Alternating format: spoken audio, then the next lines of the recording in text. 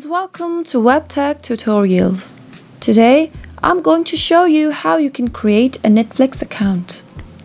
Netflix is an American technology and media service provider and production company.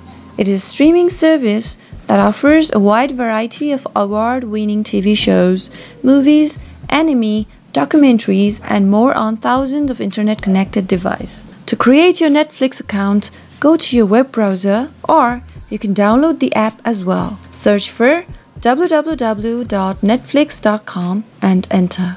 Here, you can sign up for a Netflix account. You'll even get a free one month trial membership. Despite the free trial, you'll still need to provide a credit card or other payment methods such as PayPal. As soon as you reach the official page, Scroll up and enter your email address to create your membership and click on Get Started. Click Continue. On the next page, create a password and enter it here. If you don't want Netflix to send an email on Netflix special offers, click on the box and click on the Continue button. Go through the followings and click on See Plans. Choose any plans that's right for you by clicking on the little circle and click on the Continue button.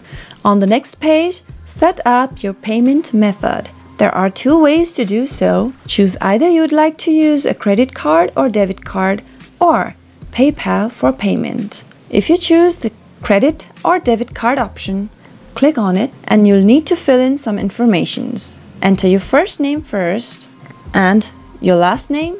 Enter your credit or debit card number.